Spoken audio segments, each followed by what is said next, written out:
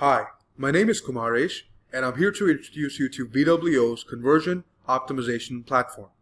This is the third part of our four video series and we will talk about VWO Plan. Plan capability helps you formulate, manage, and prioritize your testing ideas all in one place. Think of it as a project management portal designed specifically to help you structure your optimization efforts. In Plan, we have observations and hypotheses. Observations are a collection of actionable insights that are all saved in one place. Let me demonstrate you how you can capture actionable insights from our different capabilities. Just click on the eye icon next to any report in VWO and then we will automatically store a snapshot of the report along with the observation. You can also create an observation directly from the observation dashboard and can add relevant tags to it. VWO also has an extension for your Google Chrome browser that makes it super easy to record observations directly from your website or any of your analytics tools. For instance, I found something interesting on VWO.com and I want to capture my observation.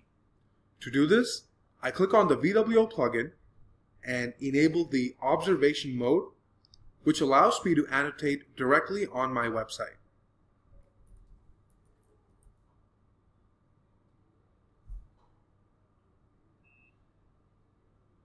Once the observation is added, it is instantly available in your VWO account along with the screenshot of your website. You can use these observations to then formulate hypotheses. For instance, you want to optimize your homepage. You can apply the filter to show all the observations for your homepage. Select one or more than one observation and click on the Create Hypotheses button to get started.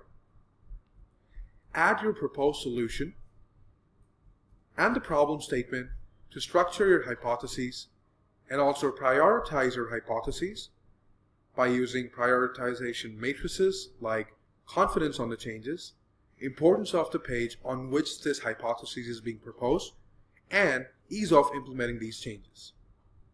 As you click on create, this hypothesis is saved on the hypothesis dashboard. Now, you can select the hypotheses with the highest priority and link a test to it. You can now easily monitor your hypotheses in the progress view and can get a quick summary of the test linked to it.